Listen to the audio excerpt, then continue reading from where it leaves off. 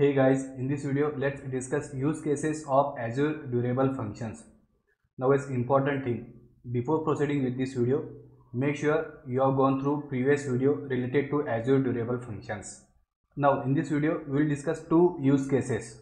So the first one is this fan out fan in pattern and the second one is human intervention. Now in fan out fan in pattern, let's imagine we have e-commerce application and user places an order for new AC that is new air conditioner. So we will use durable function and fan out fan in pattern to deliver this AC from nearest warehouse. And then in our second example, we will discuss new employee onboarding in HR system. So basically this process that is onboarding a new employee, it involves creating employee record in HR system, creating its corporate email ID, assigning laptop, delivering laptop, etc. Now as of now in this video, we will just understand the use case in detail.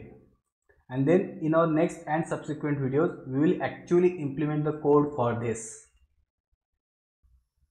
So the first one is fan out fan in pattern.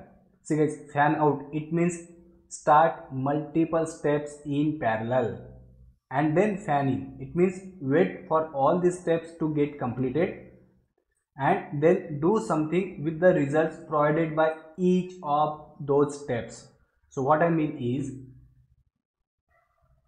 see again guys, we have this orchestrator function that is this is our controller function and it calls these four activity functions.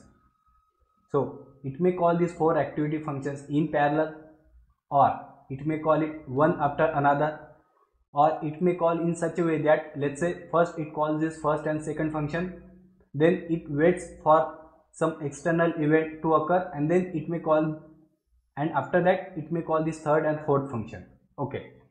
Now when this orchestrator function it calls these four activity functions in parallel. See it may call all these four activity functions in parallel. Then each of these function it will return some result.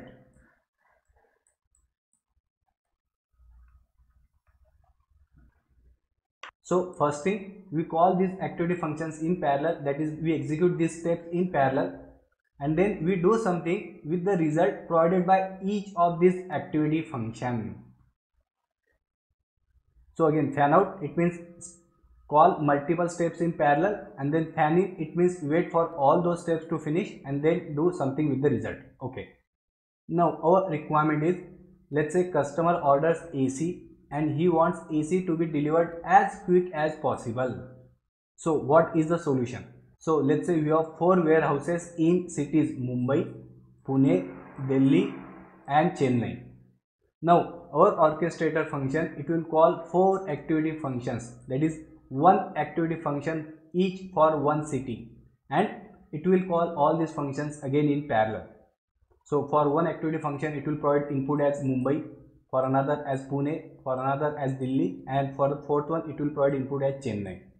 Now each activity function it will return the city and whether in that city warehouse if the stock is available and if the stock is available how much is the estimated delivery time. So finally we have the results available from four activity function. So we simply aggregate the results and we find the city with least delivery time. So for example, let's say for Pune available quantity is 10 and the expected delivery time is let's say just one day. But for Delhi available quantity is let's say 20 but the estimated delivery time it might be 5 days. So obviously the quickest delivery time it will be from Pune. So again we can use this solution that is durable function because durable function they maintain state.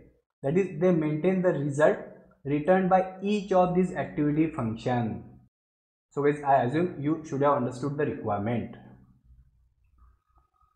Then the another use case is which involves human intervention. So what is our requirement? So we want to onboard a new employee. So first we'll create that employee record in HR system. That is we will generate employee ID, right? Then we'll create corporate email ID for that employee.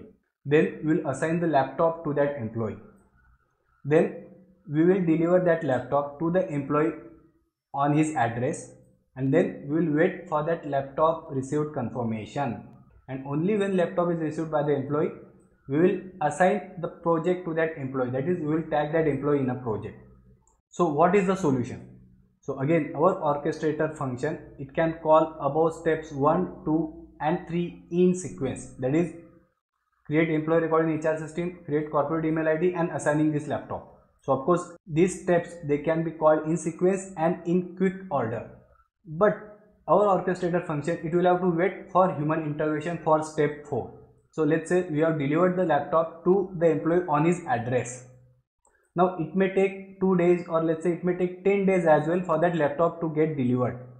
So obviously we'll have to wait for the confirmation from the employee that he has received the laptop. So let's say in that case we can send reminder email to the employee every day. And in that email we can include that link which will trigger this laptop received confirmation.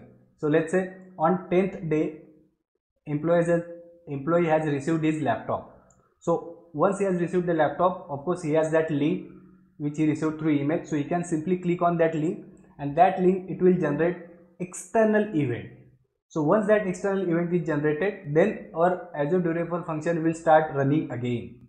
So again let's say employee confirms that he has received the laptop then only we can run this step number 5 so again we can use durable functions here because it maintains the state that is memory. So it can sleep after step 3 above. That is let's say he has assigned the laptop and it has delivered the laptop right? So at this stage our durable function it can sleep. And once employee confirms let's say after 10 days that he has received the laptop then our durable function can wake up again and now it can start executing step number 4 and 5 onwards. So again it is possible because our durable function maintains state. So that's it guys. Thanks. Thanks for listening